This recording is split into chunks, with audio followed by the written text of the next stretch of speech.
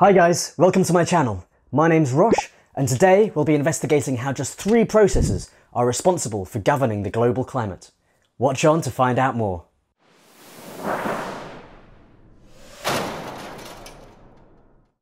If there's one thing that climate skeptics, scientists, and activists can all agree on, it's that throughout Earth's history, the global climate has continuously changed, sometimes quite dramatically. At different times, the Earth has looked like a giant snowball, a tropical greenhouse, and everything in between. In fact, looking at Earth's history, it becomes quite apparent that the climate system is inherently unstable and vulnerable to change. But why exactly does the climate change? You probably know that climate is the long-term average of weather. But what is weather? You might think of temperature, wind, rain and cloud, and you'd be right. But all of these result from something far more fundamental, the transfer of energy within the atmosphere.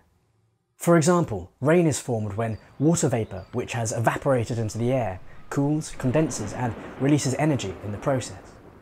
Wind is caused by hot air rising and cooler, denser air rushing in to fill its place. And here's the crucial point.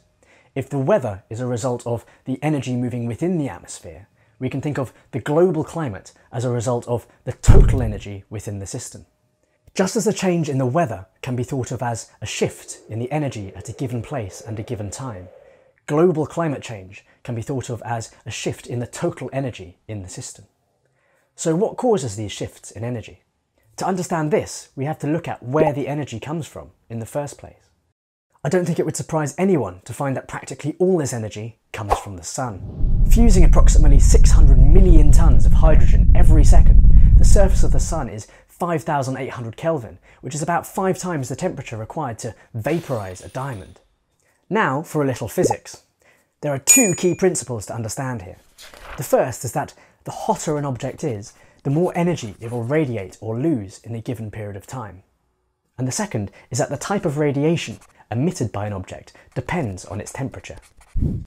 The hottest things in the universe emit radiation with very short wavelengths like gamma rays and X-rays. Cooler objects emit radiation mostly with much longer wavelengths such as visible light, infrared, radio waves and microwaves. Our sun, while hot, is nowhere near the hottest thing in the universe and most of its energy is emitted as visible light or ultraviolet radiation, which is great for those of us who like to see. The Earth being much cooler, emits mostly infrared radiation, or heat as normal people call it. Now the climate will always try and move towards a stable state, and this can only exist when the amount of energy in the system is also stable. For this to happen, the amount of energy leaving the Earth must equal the amount coming in. This state of balance is known as a dynamic equilibrium. But how does this happen? Well, energy leaves the planet in two principal ways by being directly reflected off the surface and by being absorbed and then re-emitted as heat into space. Bright surfaces like ice, clouds or sandy deserts have high reflectivity or albedo and they bounce sunlight off their surfaces. Dull surfaces like oceans or forests absorb more energy than they reflect and this absorbed energy is emitted as heat. In order for the planet to reach a dynamic equilibrium, the amount of energy reflected off the surface combined with the amount of energy emitted as heat, must equal the amount of energy coming in from the sun.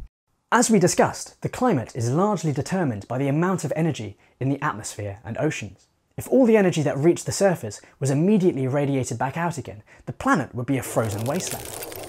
Clearly, this doesn't happen, and that's where the greenhouse effect comes in. Greenhouse gases are transparent to invisible light and let the energy from the sun pass straight through. However, they absorb the heat from the Earth's surface and emit it in random directions. Some is lost to space, but much of it gets re-emitted back into the atmosphere or down towards the surface. This effectively reduces the proportion of energy escaping to space. But if greenhouse gases are reducing the amount of energy leaving the planet, then how do we get a dynamic equilibrium? Remember, that means the amount of energy leaving must equal the amount coming in. Well, all that extra energy trapped in the atmosphere also raises its temperature, and if we remember our basic physics principles, we know that hotter things radiate and lose more energy. This means that the greenhouse effect causes the atmosphere to warm up until it reaches a temperature warm enough to radiate enough heat into space to equal the energy coming in. In other words, the temperature of the atmosphere adjusts to ensure that the amount of energy leaving equals the amount coming in. As long as there are no changes in the energy received from the sun, the albedo, or the greenhouse effect, the total amount of energy in the climate system, and therefore the climate itself, will remain stable. Anything that changes this balance is known as a radiative forcing, and forcings nearly always trigger chain reactions called feedbacks, which further alter the energy balance. There are dozens of forcings which could affect the planet. Forcings which affect the energy from the sun, like solar cycles. Forcings which affect the albedo, like volcanic dust, asteroid impacts, or the movement of tectonic plates.